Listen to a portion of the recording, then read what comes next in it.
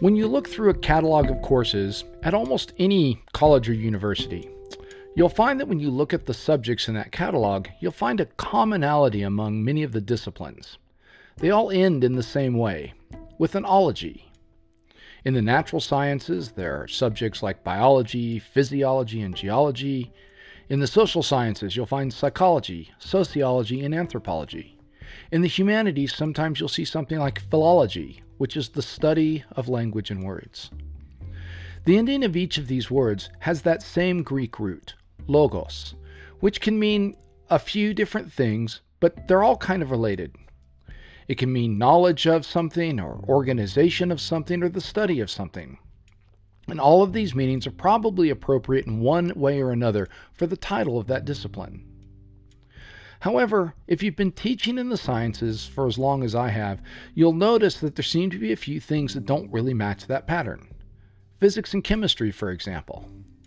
Physics is so named because it's taken from a Greek word meaning motion or change, and chemistry comes from the Egyptian word for black earth.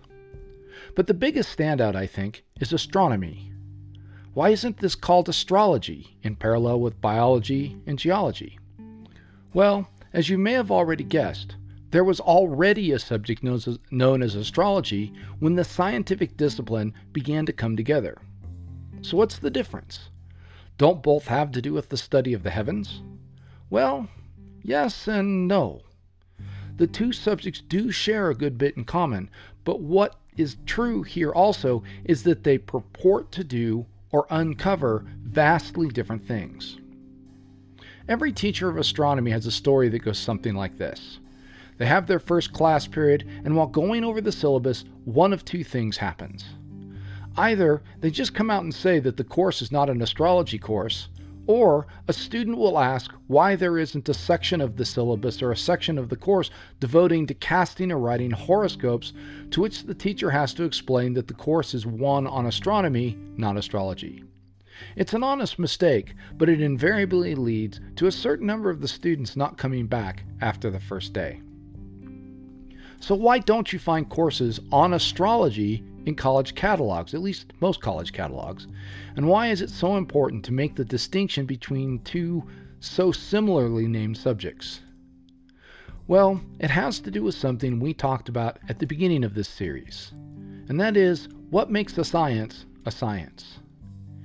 It is generally held among the scientific community that astrology is not a scientific discipline because it fails some of the criteria that we've laid out.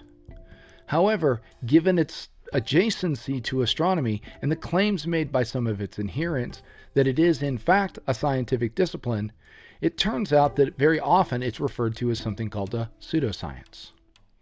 This, of course, leads us to the topic of this episode. What is a pseudoscience, and how can one distinguish a pseudoscience from something that's scientific? And of course, if you've been working through this series of episodes, you probably already have a good idea of a couple of things that will be useful in accomplishing our task critical thinking and evidence. What we'll try to do over the course of the next, oh, I don't know, 45 minutes or so, is see if we can hone in on some of the specifics and spend a little bit of time talking about philosophy of science so that we can distinguish science from pseudoscience.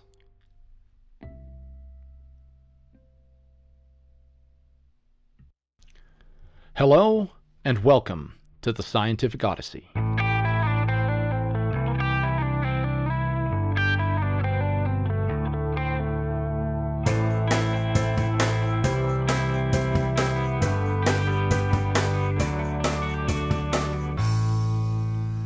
The Scientific Odyssey is a mini part journey into the history and philosophy of science.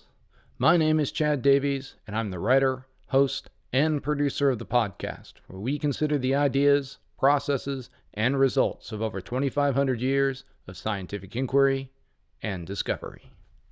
Series 1 Science as Inquiry, Episode 10 Science, Pseudoscience, and Snake Oil.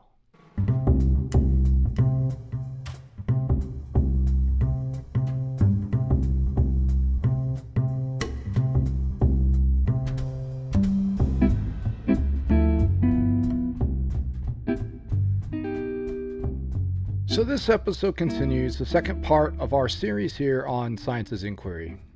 In the first five episodes, we looked at some of the characteristics that made the process of scientific inquiry unique compared to some other forms, as well as the, some of the ways in which scientific knowledge was acquired or is acquired, transmitted, and understood from a logical point of view.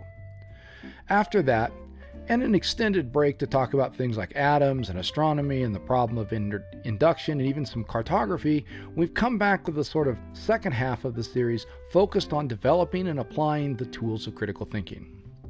These later episodes, for those who don't know and are just sort of finding this now, were made years after the first set, um, after a few of the students from various classes that I've taught asked me to add the material to, uh, to the series with the outbreak of the SARS COVID 19 and virus and all of the misinformation surrounding that, I decided that it was a really good time for me to get that information out as a way of providing anyone who might come across the show some tools to help them navigate through all of the things going on around that.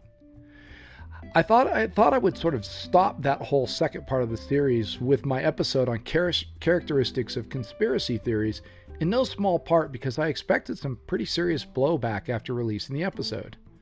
However, it turns out that that episode seems to have been really well received, at least if the download numbers are to be trusted.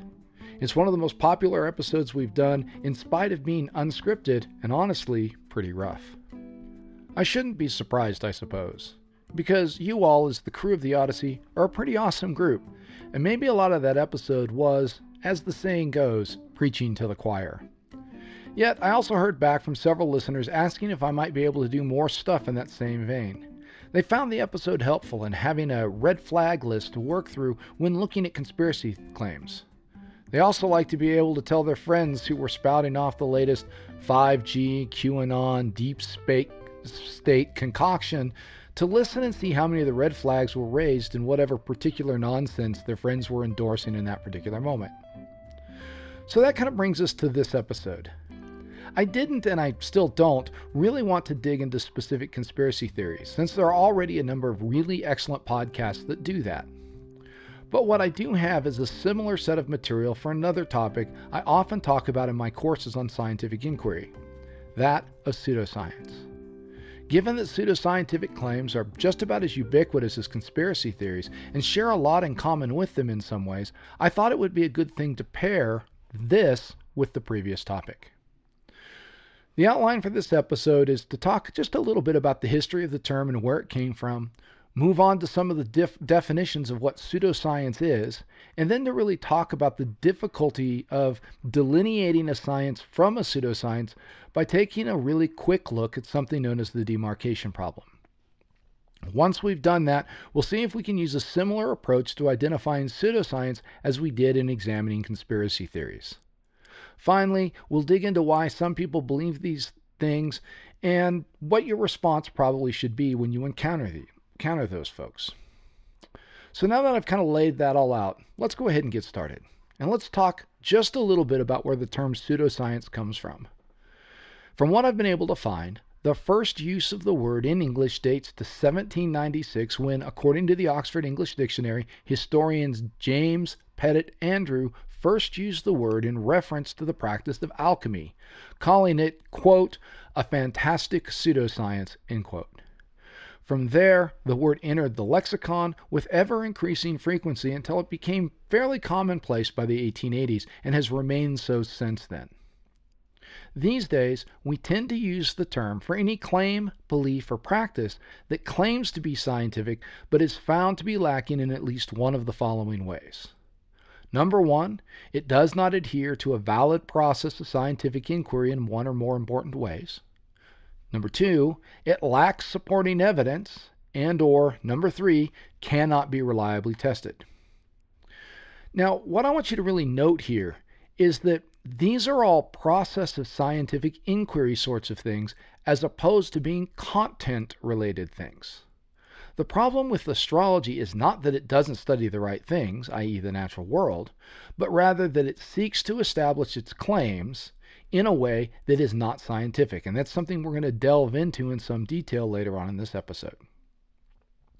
What this means for us is that if we wish to evaluate whether a subject or a field is scientific or pseudoscientific, we have to focus on process or method, specifically the process or method related to the evidence in support of the claim rather than the content of the claim. By the way, does that sound a little familiar? I hope that sounds a little familiar.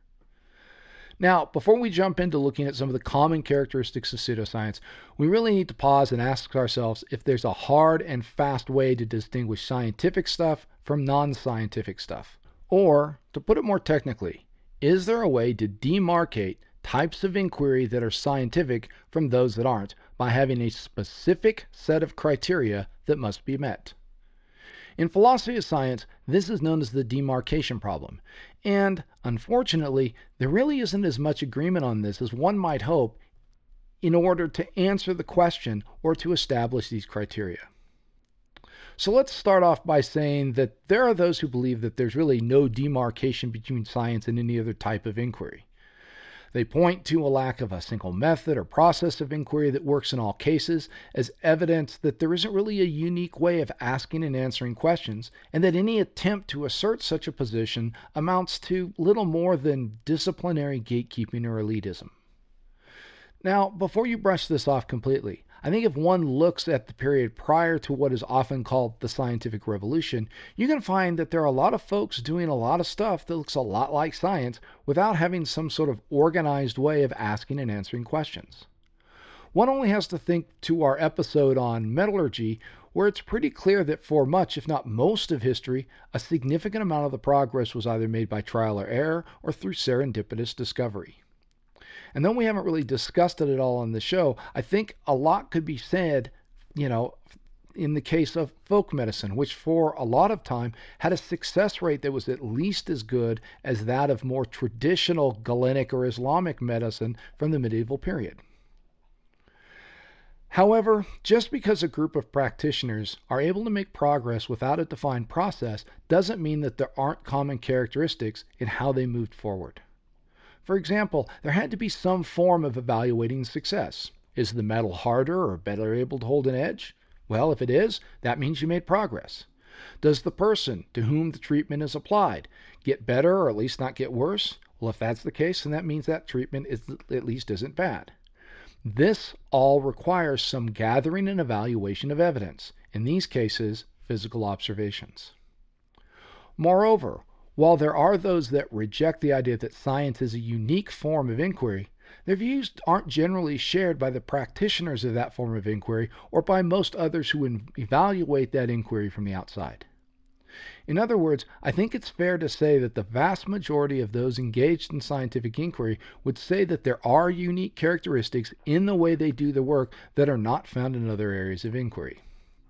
In other words, most scientists will say that the activities they participate in to answer questions are very different qualitatively than those who seek to answer questions regarding things, say, like morality or legality.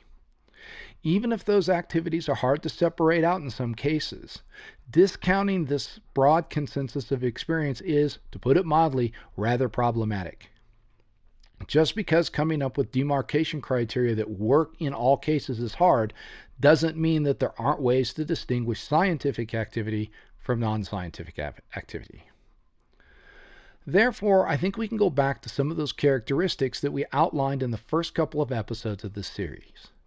For inquiry to be considered scientific, I think it's fair that it's to say that it has to focus on the physical universe, it has to be empirical, and it has to result in descriptions of the systems that are predictive towards the behavior of those systems.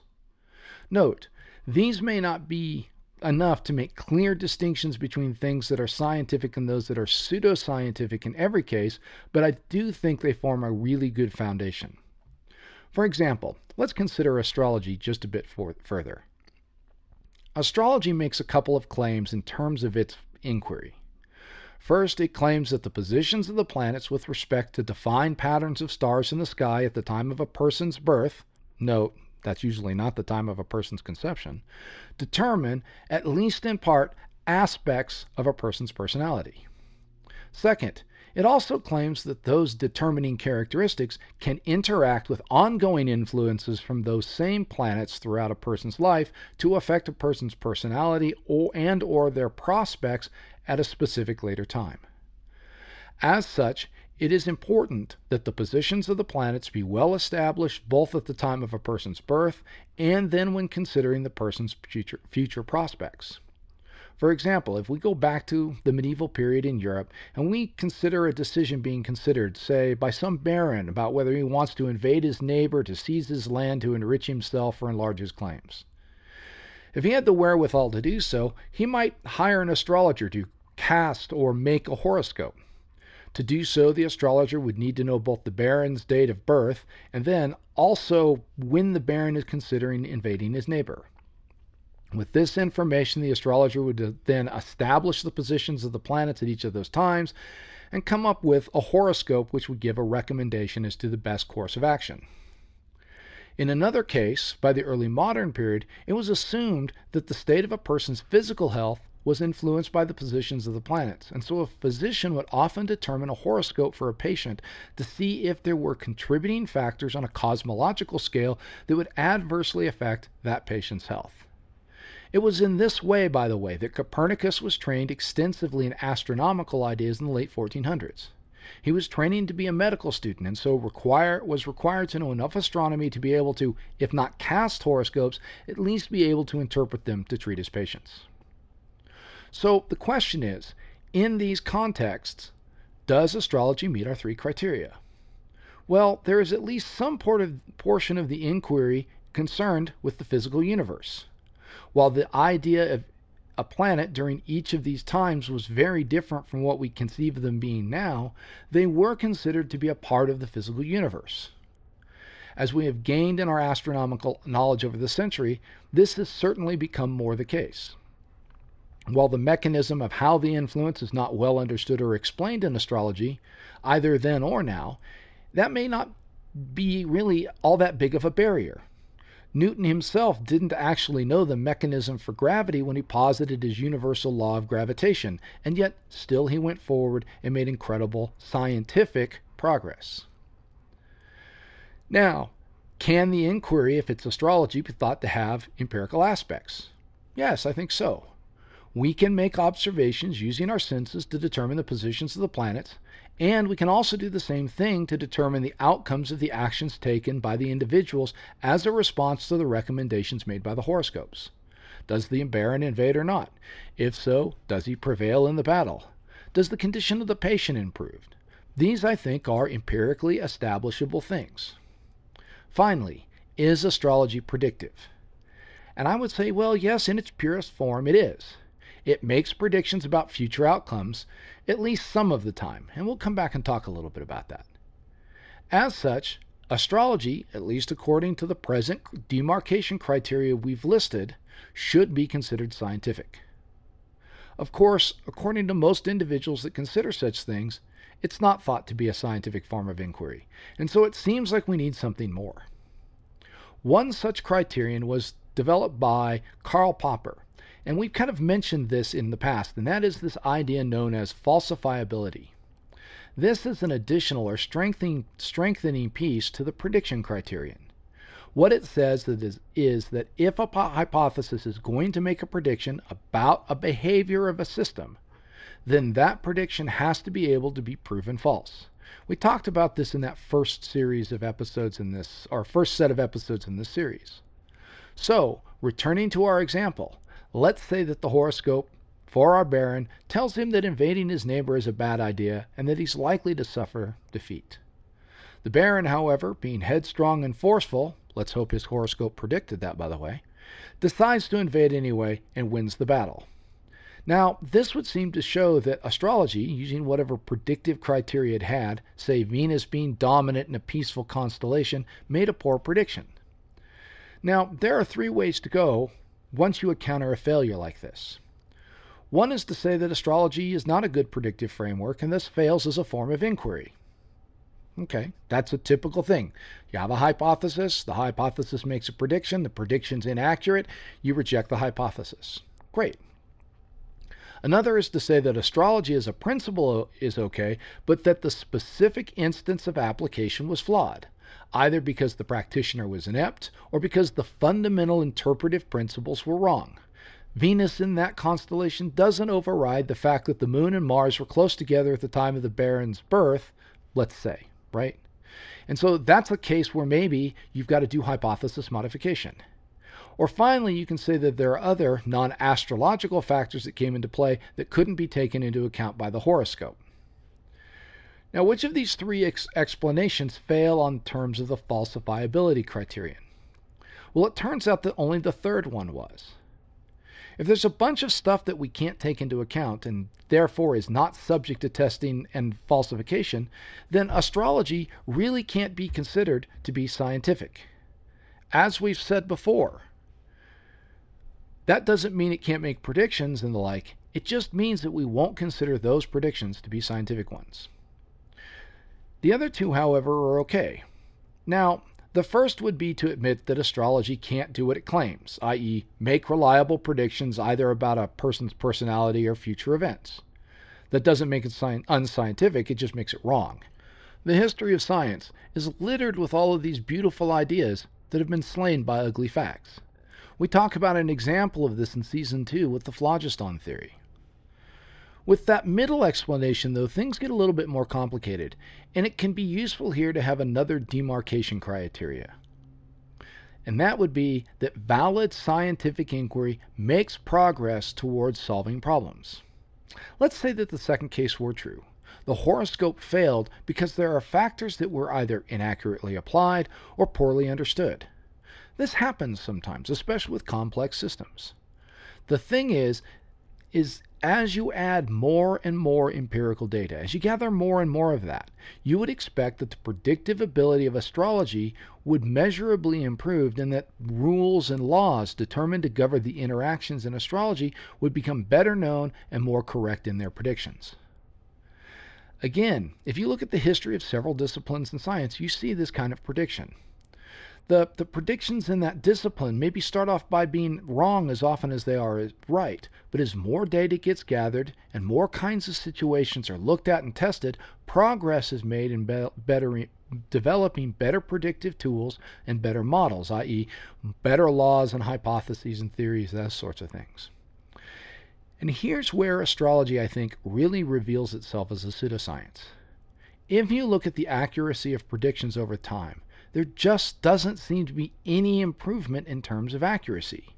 At least accuracy that's in, you know, that independent research puts at basically, you know, being above the, the level of, you know, dart throwing or guessing or something like that. Astrology just doesn't ever seem to be better than doing that. Even as more planets and other astronomical objects have been discovered, something that one might expect would lead to greater accuracy, the discipline still isn't able to make consistently accurate predictions of things regarding, regarding human personality or human behavior. What's just as troubling about the subject is that the methods of casting a valid horoscope seem to be as varied as the number of practitioners there just don't seem to be a lot of what might be thought of as general principles or methods that everybody in the discipline of astrology agrees on. There are no sort of conservation of energy type statements that everyone uses as the foundation of their analysis. Can you imagine if chemistry did this? One chemist said that electron interactions are important for binding, and another discounting that idea and saying that their pet principle or practice was more accurate with seemingly no real way to test between the two? Anyway, I think you sort of get at where I'm going at with this. The demarcation prog- problem is a tough one to work through, and at some point we'll do a few episodes on it to really dig down into this idea. But for now, let's assume that there is such a thing as a demarcated type of scientific inquiry based on some of these ideas and see that how they can help us understand dealing with pseudoscience.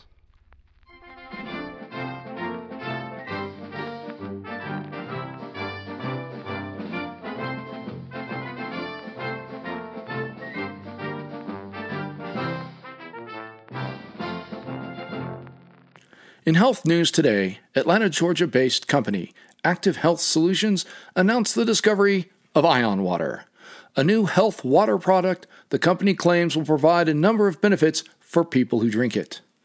The company's chief science officer, Peter Colligan, explains how the product works. Quote, Using magnetic resonance technology, Active Health Solutions has found a way to energize regular bottled water. Using our patented active ion technology, which is able to infuse dihydrogen monoxide with electrolytically generated nanobubbles, we have created a product that completely revolutionizes the way our bodies interact with and utilize water. Active Ion uses tetrahedral mathematics based technology utilizing virtual lasers to achieve the resonance. End quote. Company founder Dion Williams pointed to ancient Greek mythology as the inspiration for the product. He said, quote, We know that the Oracle of Olympus was situated near a group of hot springs that was electrically active. It is well established that the ancient Greek athletes paid enormous sums of money to visit the oracle and drink the spring water in preparation for the Olympic Games.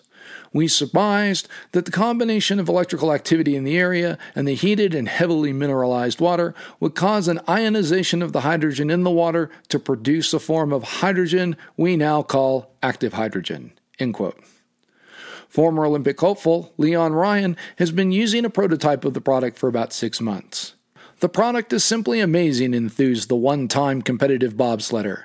I've never had anything quite like it. When I drink ion water, I feel like I have more energy and focus. My concentration is better, and it seems like things really slow down. This product is so effective that I'm seriously considering getting back into bobsledding and trying to make the 2022 Olympic team.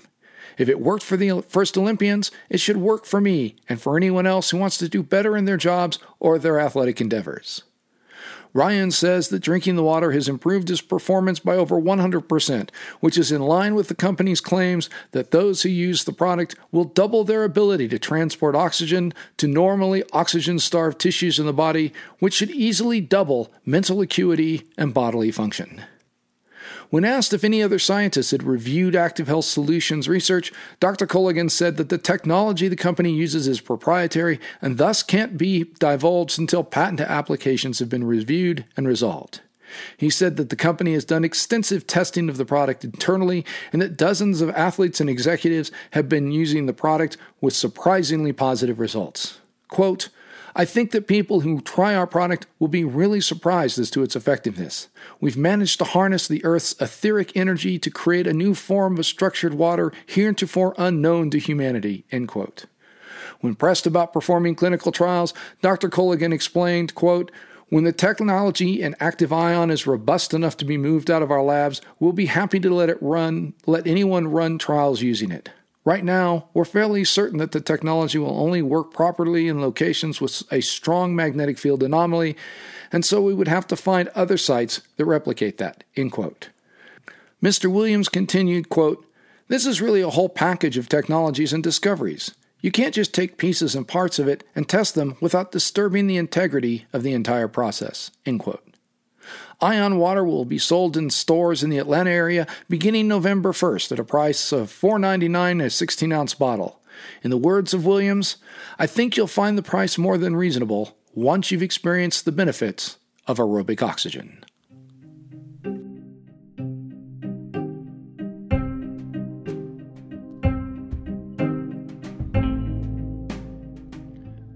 So, the blurb you just heard was taken from about a, a, 2012 quiz I used to give my science, pseudoscience, and snake oil students that was attended, intended to sort of assess their ability to look for red flags in pseudoscientific claims.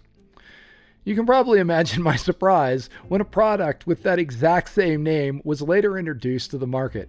And I should be really careful here to point out that any and all similarities between my fictional press release that you just heard and the marketing materials one might find, you know, associated with a similarly named or any similar product are purely coincidental. Nevertheless, it is somewhat amazing how often life imitates art, isn't it? What's just as interesting is how often you can find products with marketing materials that are just slightly less extreme than this. Every semester, my students would bring me examples of ads for products that were being sold to unsuspecting company, com- customers that were like this, including one, and I am not making this up, a hair care product that first had a claim of using antimatter as part of the formulation for the hair care product, and that was then changed to be instead some nanoferromagnetic material due to mocking comments on that product's Amazon reviews. Now, there are those who will wring their hands and bemoan the, the scientific illiteracy or the gullibility of today's population, but you know, just to kind of put things in perspective, one must remember that P.T. Barnum's famous adage was coined over a century ago, and history is filled with con artists selling patent medicine cures to those selling relief from all sorts of ailments, going back as far as we can we can look. For those looking for musical inspiration for such kinds of things, I might recommend Mark Knopfler's wonderful tune Stand Up Guy from his Shangri-La album. It really does put a lot of this in perspective. Folks are folks, people are people. We've been doing the same kinds of things all along. So, what I thought I'd do at this point is with that fictional press release, release as background is see if we can come up with some ways to identify pseudoscientific claims and distinguish them from scientific ones. As we did with conspiracy theories, the approach we're going to follow here is to use Wittgenstein's idea of family or familial similarities. Not every pseudoscience is going to have the exact same set of issues or problems, but we can look at a set of characteristics that many of them share and sort of use them as red flags. Not every pseudoscience is going to have every one of these things that we're going to list, but the more of them you identify in a claim, the more skeptical of that claim you should be, just like we did with conspiracy theories. And by the way, as we go through these, perhaps you'll see some of them reflected in the Ion Water press release that we just went through. And to be clear here, what we're really doing is sort of looking at a tool that helps us identify a claim being made by some party that something is scientific. And we're trying to determine whether that claim is going to be scientific pseudoscientific, or if it's snake oil. And I do always throw that last category in when talking with students to distinguish between something that is merely claiming to be scientific but isn't to something that's actually truly harmful. For example, I don't think that reading one's horoscope on a social media site for entertainment purposes is really all that harmful. However, once a person decides to make employment, financial, or personal relationship decisions based on the belief that astrology is scientific valid, scientifically valid, well, then maybe it does become harmful and it goes from being just pseudoscience into snake oil. The more pernicious are the people who sell all sorts of products that they claim substitute for actual scientifically verified medical treatments by claiming, you know, some kind of scientific validity for the product when none in fact actually exists. This is when pseudoscience truly becomes harmful. All right, so with that said, let's get on with the list. The first red flag is that the claim has an outward appearance of science, but when investigated more deeply, isn't all that scientific. And some of the things you want to look for is that the claim uses language that sounds scientific, but then when you sort of look at that language, you realize that it's vague, it's undefined, it's exaggerated, or it's contradictory you know, look for the frequent misuse of scientific terms. You know, things like nano this or quantum that. Those are really popular right now. Okay, when a claim makes predictions, you might find that they're also fairly vague or undefined, i.e., they're really hard to verify. They might even be contradictory if they're multiple multiple practitioners. This is a big thing you see with astrology, right? A lot of times you go into astrology and it's just vague snippets of advice kinds of things like be nice to people because that'll make your day easier. Well, that's not a prediction. That's just that's just good advice, right? Um, Another thing that you will see under this, this, this kind of red flag are, are frequent changes in scientific methodology with no change in outcomes. Fad diets really fall into this category. How many of your favorite daytime shows, and I can think of, of, at least a few in particular, have big name individuals who come on the show to promote a certain product or diet that claim remarkable weight loss, only to have that show within just a few weeks change to a different product or mechanisms, you know, just just off the fly, you know, you know, somebody comes in and talks about, oh, we're going to have the artichoke and asparagus diet. It's going to change your life. And oh, I just, you know, the host totally endorses this and everyone needs to try this. And three weeks later, they're on there with somebody else who has a completely different diet that works, you know, all of those kinds of things. That's usually a really big, big red flag. Okay, red flag number two, and this is something that shows up in an awful lot of what we talk about, is the absence of skeptical peer review. We talked about the process of scientific communication at some length in one of our earlier episodes and why it's so important for assuring scientific reliability. If the subject matter that's claiming to be scientific has an absence of this, that should be a huge red flag. Okay. And what you'll oftentimes see in association with that is there's little skepticism showed by the adherents of the uh, the claim, right? Um, and that generally means that there's no level of peer review. You know, if you contrast this, you know, in physics, one of the things that you know you can sort of say, well, gee, you know, if you look at the Hubble constant, for example, when Hubble first proposes that, there's this huge range of numbers. And there's this giant fight that happens in the scientific journals over the course of several generations of scientists. And then as data comes in, that number gets, you know, gets tighter and tighter and closer and closer to where we have a pretty good idea of what that number is based on Hubble Space Telescope um, observations now. But there was tons of peer review and there was tons of back and forth in the literature. Even of you know among the people who were adherents to an expanding universe, there was still significant skepticism expressed by those individuals. Now, if there is a publication, that publication will often claim um, supporting evidence and you know, or just make the claims and not make them available for public review through external journals or conferences. They're all going to be internal things. You're going to say, oh, we have all the evidence for this. And then it just is never shown to anybody. Those are all just great, big, huge flags. Um, another case of this would be the reliance on personal experience, the idea of lots of endorsements or anecdotal claims, right? Um, the idea here is that those things are not the same as controlled experiments. Those are not evidence. Okay. Um, and one thing that, you know, it, it's out there a lot, you know, and it's, it's this thing that you've probably heard and the plural, that is the plural of anecdote is not data. Just because you have 10 people who tell this story of how great this thing is, that's not data right? You just nothing's controlled about that. It's all based on their personal experience. It may be something that says, okay, wait a minute, maybe we need to go do a study on this, but those those claims, those those testimonials shouldn't be treated as evidence. The other thing is, of course, you'll see in this a strong reliance on personal experience and thus subjective validation.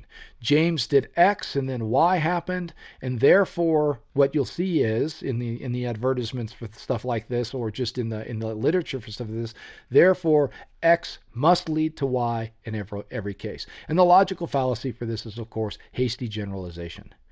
Um, generally, in this, you'll see a, a real lack of quantitative data. Um, you'll see strong or very, very small sample sizes with strong conclusions or correlations um, that are drawn.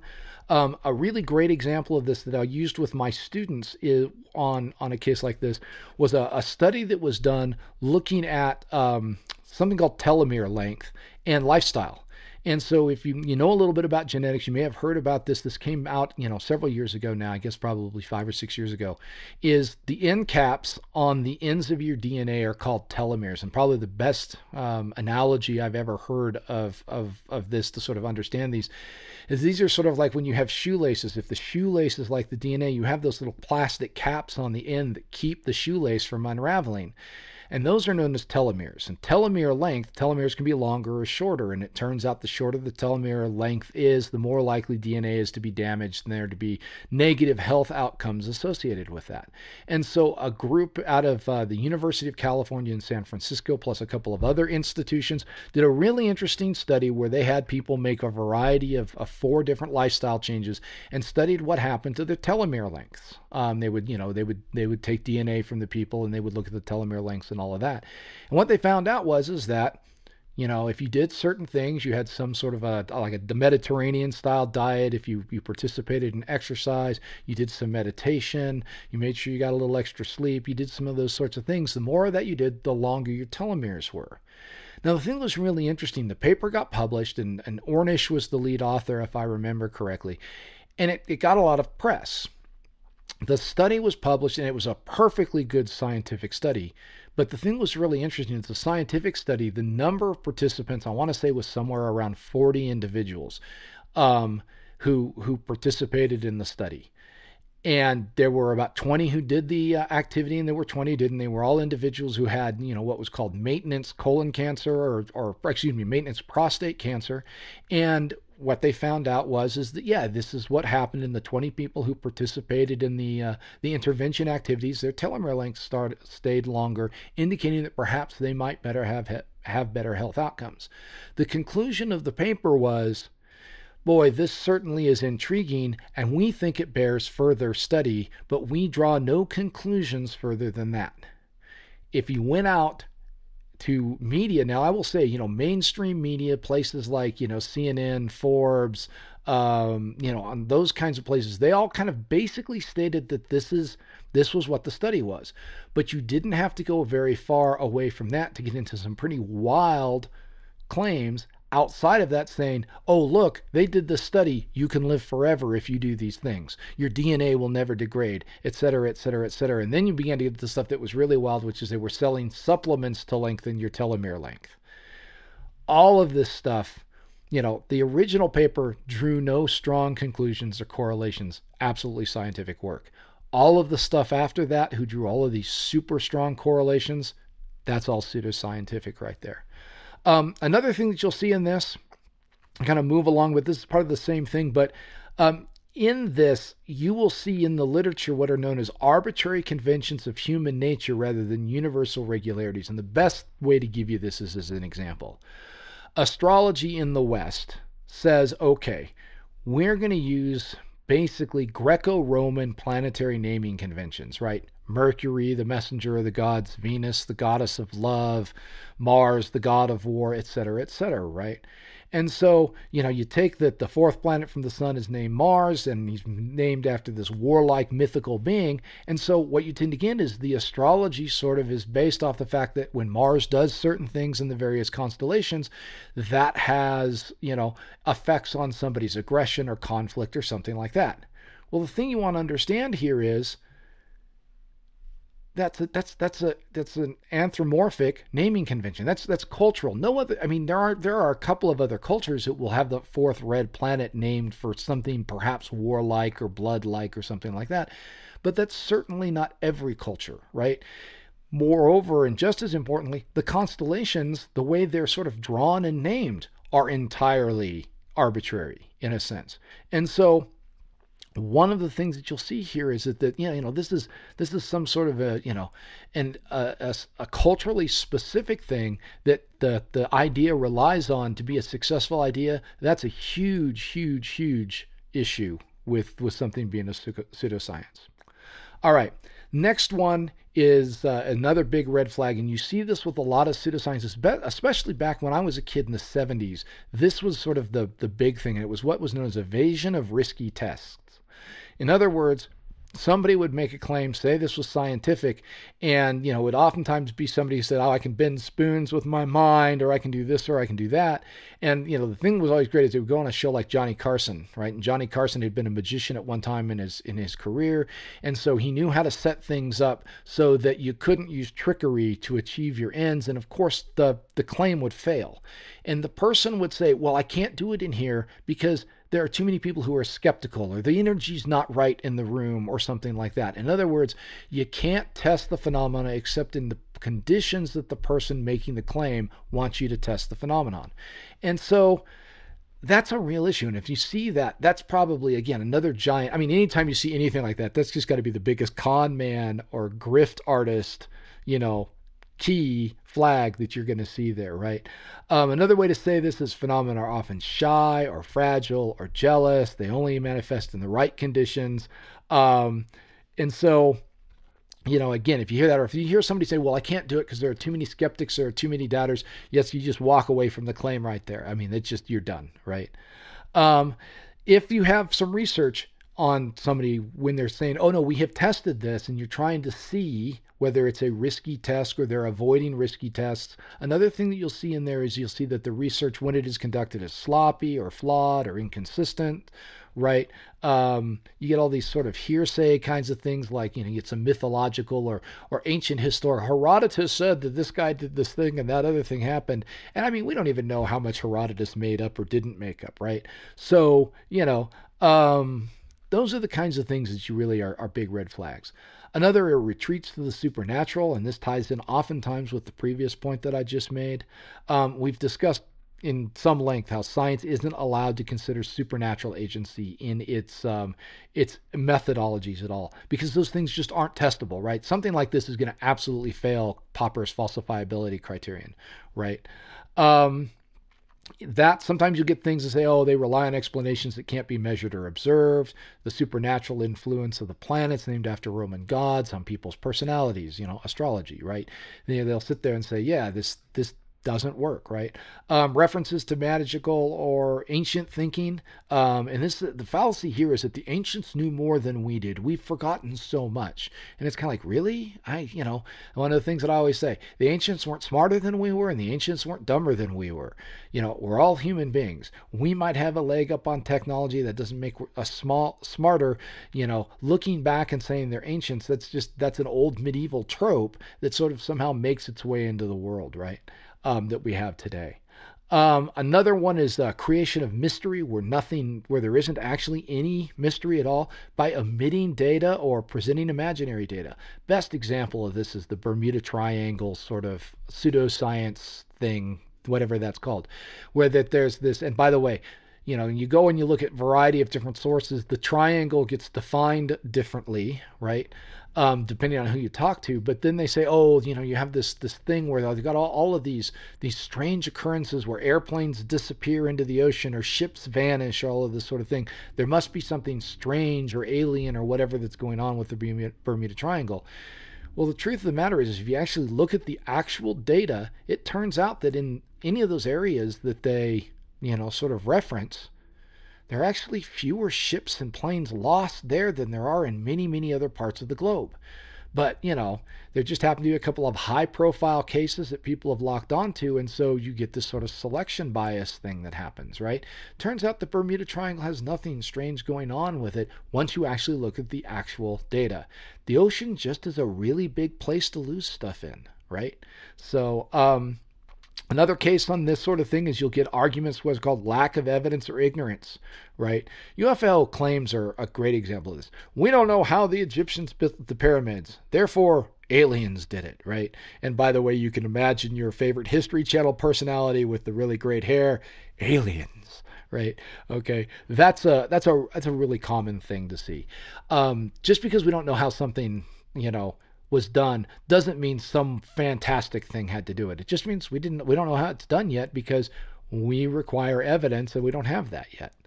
All right, another one is use of holism. The in other words, that the only way to understand a phenomenon is to understand every bit of it. That if you sort of try to break that thing down via some sort of reductionistic investigation by looking at the individual pieces and parts, you destroy the entire thing. The claim that we uh, that we read earlier about ion water is a great example of that, where you know the person says you can't pull it apart piece by piece. You have to look at the whole thing, and of course, the whole thing is something only they supposedly have, right? And so that's a, a real common thing that you will see is the use of whole, whole holism.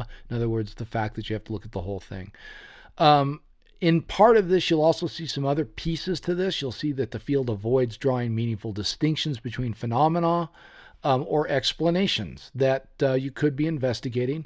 Um, you know the thing is is if and again we kind of mentioned this if you if you do show that a specific piece or a part of the the claim is just not possible or scientifically fundamentally inaccurate or whatever the case they'll sit there and say oh no no you can't just look at that by itself because it works in conjunction with all this other stuff and so you know that becomes an issue um, seven, the, the, the seventh red flag is just a tolerance of inconsistencies, right? The claim ignore, ignores logical inconsistencies with the explanations of the phenomena. That's something you will see. Or there are lack of internal consistencies either in methods of evidence gathering or in the results testing, right? Um, a great example of this is what you see oftentimes in astrology, right? You, you talk to five different astrologers, and they, they, they say there are five different ways to, to do astrology, uh, to cast a horoscope properly, to interpret this thing in the horoscope properly. Um, there's just a, a, a, real lack of internal consistency. They're not working with the same set of what you might call physical principles or, or, or you know, what you might call claim principles and that's just a huge thing. If the, the people who agree that this stuff works can't agree on how to make it work, then you got to have really huge questions. Um, another one is uh, proponents often ignore obvious contradictions. My favorite of this is has to do with the, the, the idea of dowsing. If you're familiar with dowsing, it's the idea of using some sort of a, of an object to to find underground water. Um, often used to dig wells and that sort of thing. And this is a practice that goes back centuries, if not millennia, or before the history of time, um, whatever you might say. But you know you'll get some of the proponents will say yeah the only way that you can do this you've got to find a, a, forked branch that has been recently cut made from wood or it doesn't work. And then what they'll do is they'll you know they'll have some guy they'll they'll reference some guy who actually uses a forked metal rod that he forged in his his his workshop back at home and say oh look see he got it to work right and there's just a massive inconsistency there and so that's something that you'll uh, you'll see Another one will be appeal to authority. Again, this is something we talked about quite a bit in this the second half of this this series on Science as Inquiry.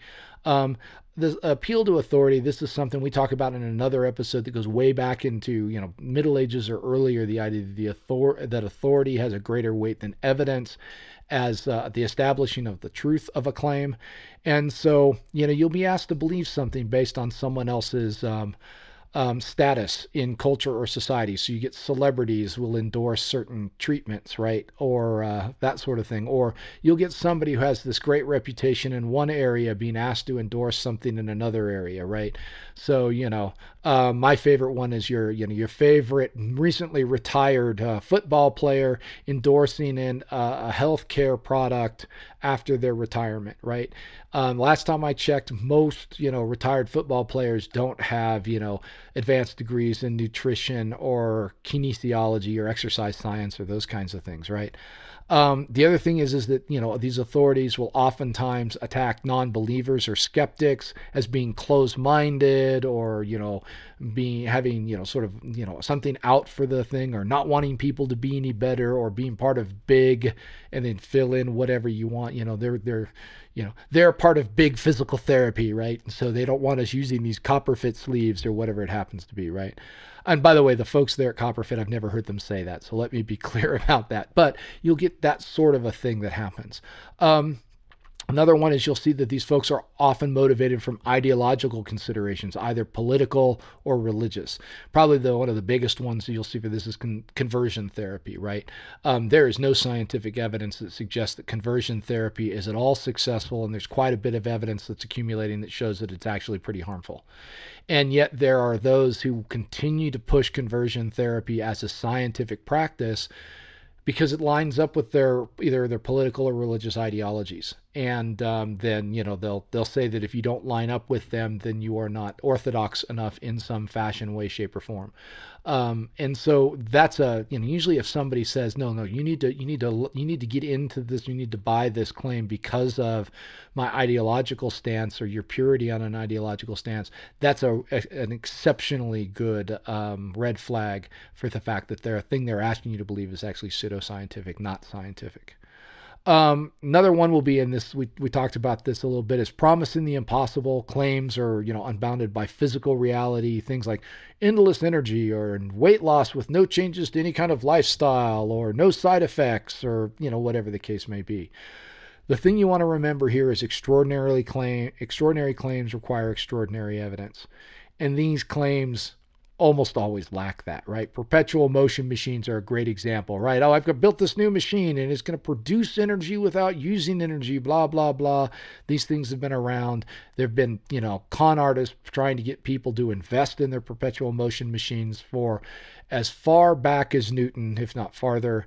And, you know, they're always a scam, right? That's always pseudoscientific. Uh, another one, stagnation. And this goes back to that idea of making progress on problems, right? If you were looking at something and it's been around for, you know, a couple of hundred years, or in the case of astrology, a couple of thousand years, and it's not doing any better than it was 2,000 years ago or 200 years ago in terms of, you know, making predictions, solving problems, whatever the case may be, however you want to evaluate that, that's a good, good indication that what you're looking at is something pretty pseudoscientific, right?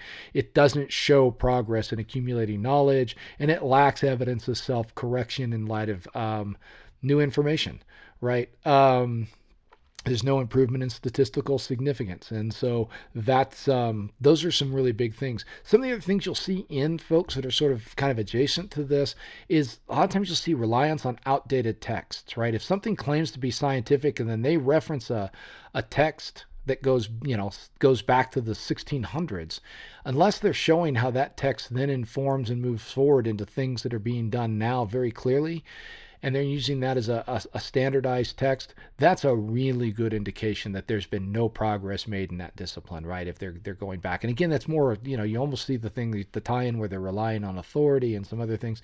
The other is what I call the use of the Galileo argument, right? And the idea of the Galileo argument is, you know, there was all this establishment, and Galileo was the one voice against the establishment, and he turned out to be right, and they were just repressing him, and I'm just like Galileo.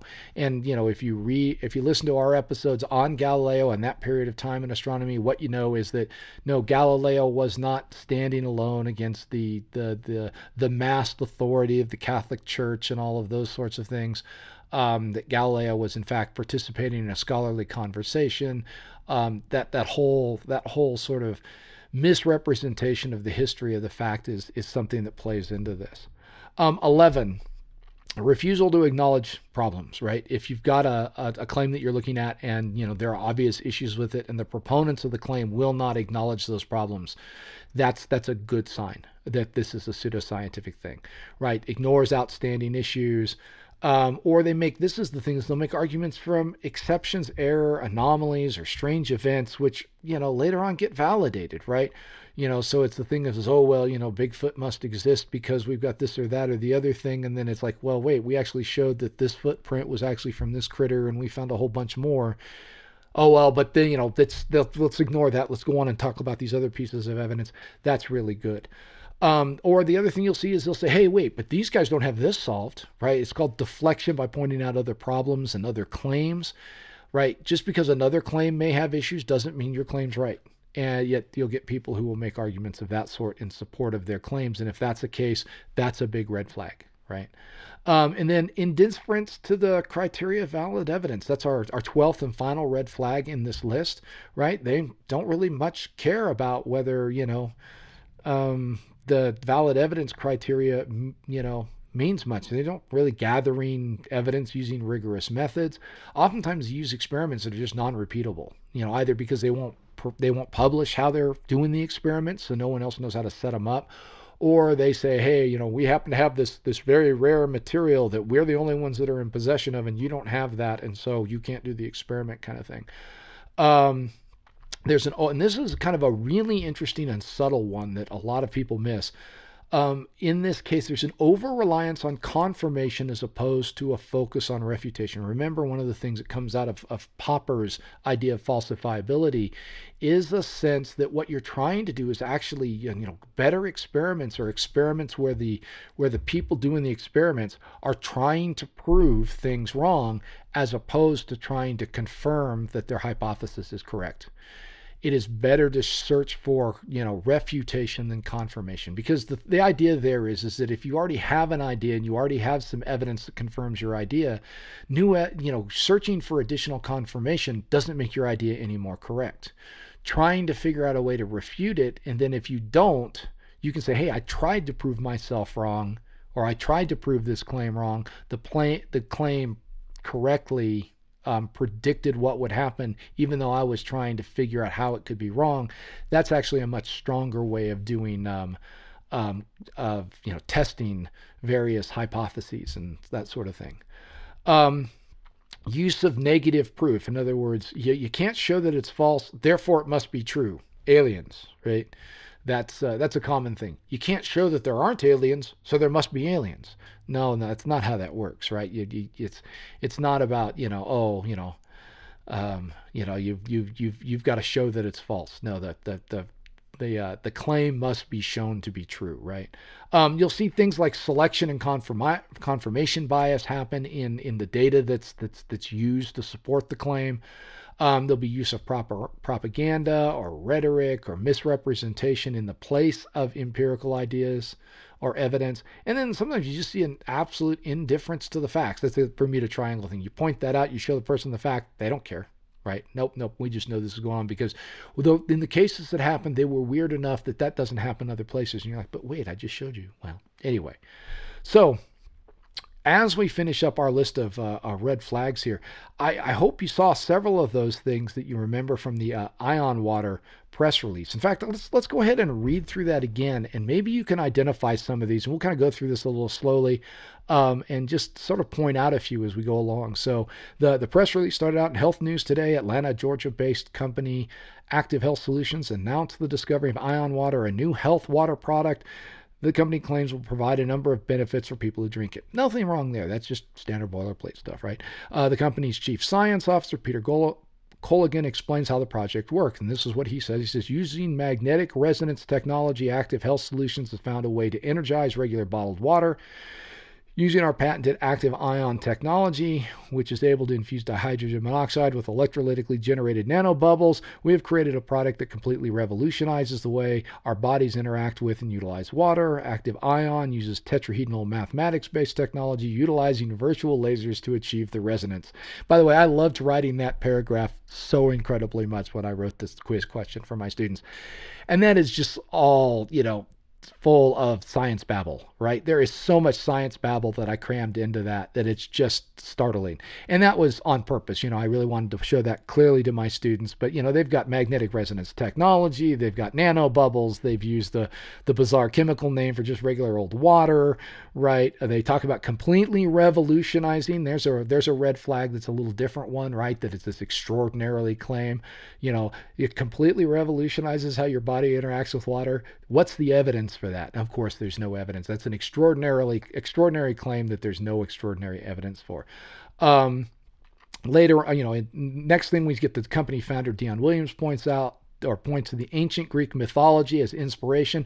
So they were going back to ancient wisdom kind of thing, right? That's a big red flag. We know the Oracle of Olympus is situated near the group of hot springs that was electrically active, et cetera, et cetera. We know Greek athletes paid enormous amounts of money. So this is all this going back to the past stuff, using outdated sources. And we don't even know if Greek athletes did that. By the way, this is totally made up there. I don't think there was ever an Oracle of Olympus that I know of. Um, perhaps somebody can can fill me in. Maybe there was an Oracle of Olympus, and I'm just I'm just I, I missed that in my classical education training here, right? Um, and so then we get the endorsement, right? Former Olympic hopeful Leon Ryan has been using the prototype for the product for the six months. Um, the product is simply amazing, enthused the one time competitive bobsledder. I've never had anything quite like it. When I drink ion water, I have more energy and focus. My concentration is better. Things seem like they slow down product is so effective that I'm seriously considering. Okay, this is a, an endorsement, right? This is uh, this is anecdotal evidence. There's nothing here that again, This is a big red flag. They're not reply. You know, there's no medical. Here's our medical tests. Here's what you know. Athletes who use the the ion water, how they did on th- on certain tasks. Here's how athletes who were given a placebo performed on those same tasks and we see you know a 100% improvement a doubling whatever the case may be right? So that's a that's a big red flag. Um, note here a little later on it says when asked if any other scientists have reviewed the research the company uses a uh, uh, proprietary technology and can't be divulged until the patent applications have been reviewed, which, by the way, they've already claimed that those things are patented. So, what's going on there? But um, he said the company's done extensive testing of the product internally. There you go. Um, that means that, you know, they're not willing to share their data. They have dozens of athletes. Again, this is more anecdotal evidence, right? Um, and then back into the psychobabble, right? I think that people who try our product will really be surprised. We've managed to harness the energies, earth etheric energy. Again, this is like mythological stuff again uh, you know, create a new form of structured water. Well, if it's a new form of structured water, you should be able to demonstrate chemically how it's different or physically how it's different. No, they're not doing any of that.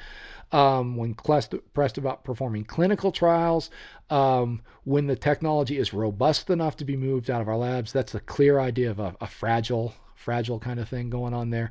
Um, we say that we're fairly certain our technology will only work in proper, properly in locations with strong magnetic field anomalies, et cetera, et cetera. Again, big red flags that go on there. Um, finally, it says Mr. Williams said this is really a whole package of technologies and discoveries. You can't just take pieces and parts of it and test them without disturbing the integrity of the entire process. That's that appeal or or sort of claim of holism that you can't sort of reduce these things down, right? So you know, there's a there's a good sense there that you know go through that and you really kind of can see what's going on. So again, let me emphasize that while this particular example is entirely fictional, this is entirely a fictional thing, and any similarities to a product called Ion Water Now are co- purely coincidental. Okay. Um, I don't think you have to look around really hard to find numerous examples of these kinds of claims in everyday marketing and advertising. You really don't. For most of us, thought of having to dig down into a scientific claim is to determine whether it's truly valid is isn't something we think we're going to have to do pretty often, right? That's just not something we kind of feel like, okay, look, you know, this is this is this hard work to me to sit down and you know, here's these guys from Fermi Lab making this claim about this thing, and I don't have the expertise to do that. But it turns out there's usually it's this kind of stuff is a lot more right in front of you than something that's you know happening at a national lab or in some research facility in Antarctica or something like that, right? Um, they're right there. You know, when I've had my students do evaluations of various claims, we looked at stuff that's just in the in the public sphere all the time. Things like attachment parenting to conversion therapy, sociobiology. And, you know, it wasn't just things like phrenology, you know, bumps on people's heads or extrasensory perceptions, but topics that engage a lot of people today, right? And, you know, the goal in, in the exercise wasn't to say that people shouldn't be allowed to practice those things, but to determine whether those things were scientific or not. And I will tell you, in every single case, the students came to the conclusion that those things were not scientific. It's not that hard if you apply a little bit of critical thinking or not to say, is this a pseudoscientific claim or is this a scientific claim? And that's something I think anybody and everybody can go ahead and do.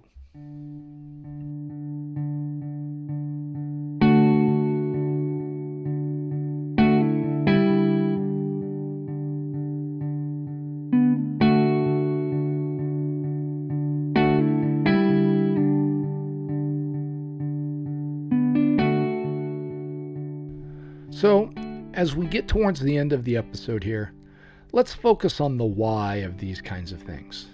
Where do they come from, and why do people believe in them? Carl Sagan had this to say about it quote, Naturally, people try various belief systems on for size to see if they help.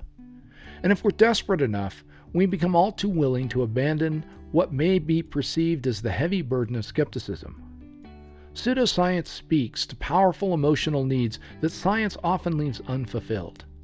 It caters to fantasies about personal powers we lack and long for, like those attributed to comic book superheroes today, and earlier to the gods. In some of its manifestations, it offers satisfaction of spiritual hungers, cures for disease, promises that death is not the end. It reassures us of our cosmic centrality and importance. End quote. I think that Dr. Sagan was, perhaps, being a bit ungenerous here, but maybe not too much. I might offer a linked variety of reasons that takes human nature into account, and these are presented in no particular order. People want explanations for things, and they want those explanations to make sense in a narrative way. There's been a lot of psychological research about this. Sometimes I think that the cold, impersonal language of, that science uses can be a bit hard for people, even a bit dehumanizing. Personal narratives or explanatory narratives that make us feel important really are attractive. People, too, I think, want to feel connected to something bigger than themselves. To think that you're harnessing some ancient power or following the footsteps of some mythical hero can be deeply affecting especially when coupled with that narrative we were just talking about. People want hope, or at least a th- sense that things can be better. Comforting lies will always be easier to believe than hard truths. People want to feel special and that maybe they're in on a secret that only a few other people know about. Validation of being part of a group that shares a common belief is a powerful thing, as can be seen with conspiracy theories. As Sagan says, Skepticism is hard, and we tend to look for the easiest way through life because, well, life is hard. It would be easy to say that most people are just lazy, but I really don't think that's true. While there are certainly those who would rather just not be bothered to go through with the work of evaluating a claim, I think most people don't really want to be fooled or ripped off. It's just that it can be a lot of work to really go out and run down evidence for and against stuff. Sometimes the pseudoscience plays into our preconceived notions, ideologies, or biases. This becomes especially hard when authority figures of those ideologies or their affinity groups believe the claims of a pseudoscience. The same is true, by the way, for conspiracy theories. So, what do we do? Well, I think at this point in this series, I think you probably know the answer to that. Be skeptical, practice critical thinking, and demand evidence. Remember, it's not your responsibility to prove any claim false. It's the responsibility of the adherents of the claim to show, via real evidence, that their claim is true to a reasonably skeptical person. Don't fall into the trap of having to show someone else's claim to be false in order to avoid believing in its truth.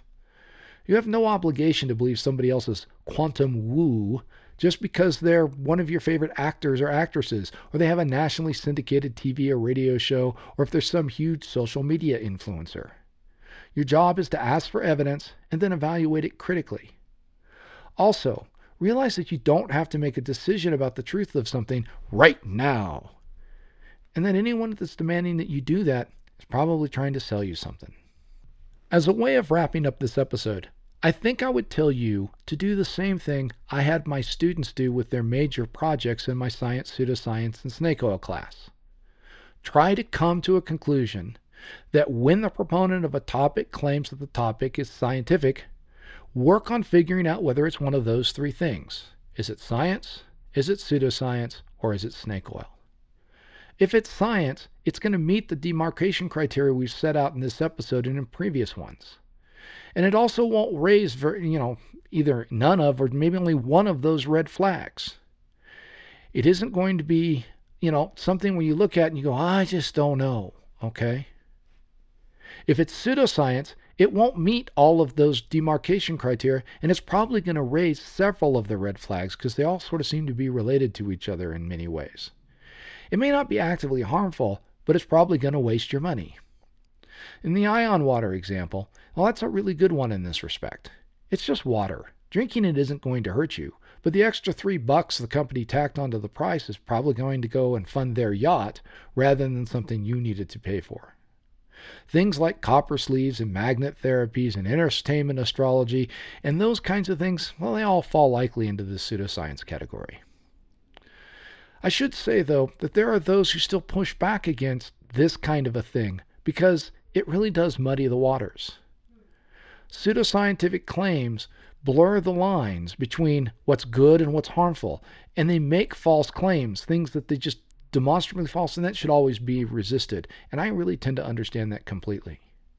If you tend to fall for the pseudoscience stuff, it's not much of a leap to end up in the next category, and that's usually pretty bad. The pernicious part of snake oil, and that's our third category, is just it's just so awful, right? And by the way, we call it snake oil because it's, you know, it's kind of named after the sort of patent medicines that were sold in the United States in the 1800s and early 1900s that claimed to be cures for all kinds of things, but that actually had ingredients that were generally really bad for you. Besides just mostly being alcohol, right? That's what most of these patent medicines were. They had stuff like cocaine and heroin, camphor, you know, might have, you know, silver or arsenic or all kinds of other things in them that the people buying them didn't know anything about. And these days, where you can get stuff like that is wherein the pseudoscientific claim starts to replace what is an otherwise effective treatment or an effective thing with substitutes that are ineffective or harmful.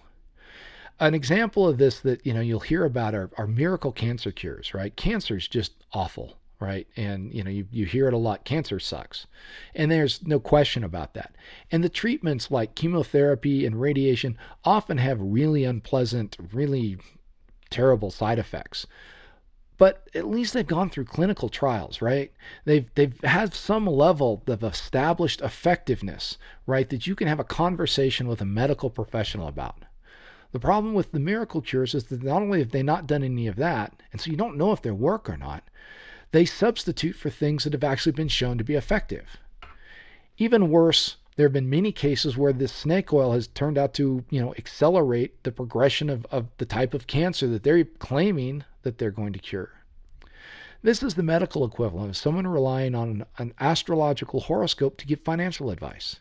In replacing what is probably prudent advice from, you know, a, a licensed financial professional that's got oversight and all of those things, the horoscope based approach is not going to have any better success than random guessing at best when making decisions about what to do with your money. And worse, it may give bad advice. In fact, it's probably going to be prone to give bad advice because it's not going to take into account things like market forces and economic trends and have philosophy about long term versus short term in investing and all of those kinds of things. Astrology for entertainment isn't a harmful thing, probably. But it doesn't take much to slip into using it to do some things where it may actually do some real harm, you know, using it to determine how you should handle your relationships or how you handle your money. In the same way, buying some water with a pseudoscientific marketing strategy isn't going to affect your health, but once you start making decisions based on that kind of hype, you open yourself up to the possibility of buying similar claims, and when I say buying, I don't mean maybe physically or actually, or maybe I do, I don't know, but of buying similar claims related to product that say they will heal whatever ails you, when in fact they won't.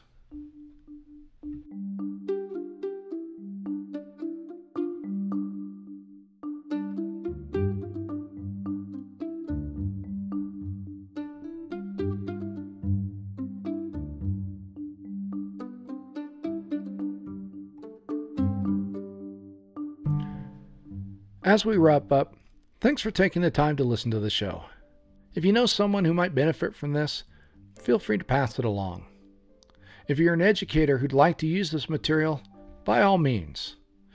Attribution, of course, would be great, but this is information I've cobbled together over a 25 year interest in these sorts of things, and so, other than the ion water example, I'm not the originator of probably any of these ideas, so feel free to use this as however it works best in your classroom with your students.